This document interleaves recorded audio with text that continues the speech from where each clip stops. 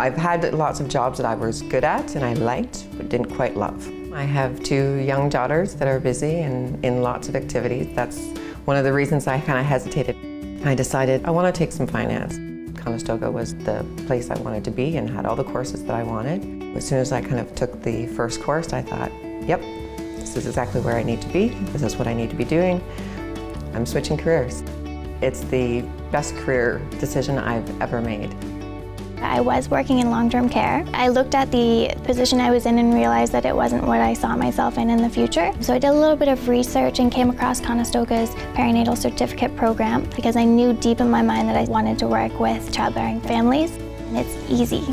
Online with one day in-class workshop, I can work at my own pace, me more flexibility if I'm working full-time.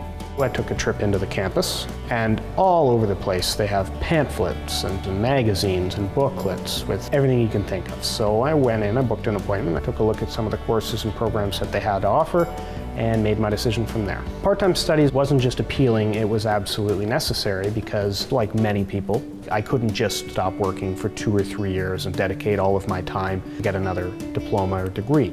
If you're a self-directed learner, and you have other things going on, but you want to continue your education, this is absolutely what you need to do. You only live once. Why wouldn't you want to work in something that makes you happy every day?